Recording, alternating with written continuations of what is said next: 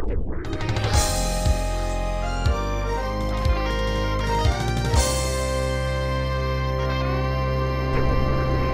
Ultima edizione di Stadio News studio Marco Gullà.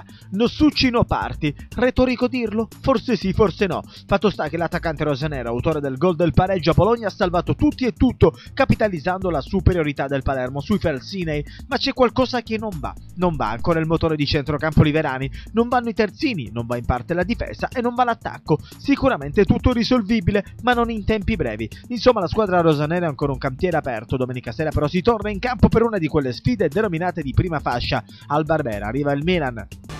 Riprende oggi la preparazione del Palermo in vista della gara di domenica al Barbera contro il Milan.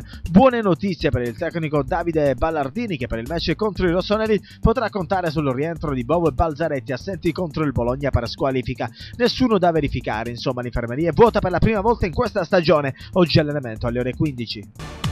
Succigol, Succigol, forse i tifosi rosanello potranno aggiungere nel loro repertorio un altro coro, quello per l'attaccante ex Ravenna che domenica scorsa ha pareggiato i conti a Bologna. Cambierà qualcosa? Non lo so, io spero, ti ripeto, spero di giocare di più, spero di, di affermarmi in questa società perché sono convinto che ho le potenzialità per farlo. Poi dopo è ovvio che le scelte non le, non le faccio io e devono essere secondate. Insomma. Spero che finalmente i tifosi del Palermo mi apprezzano per un gol fatto e non per quei due che perché in città è così.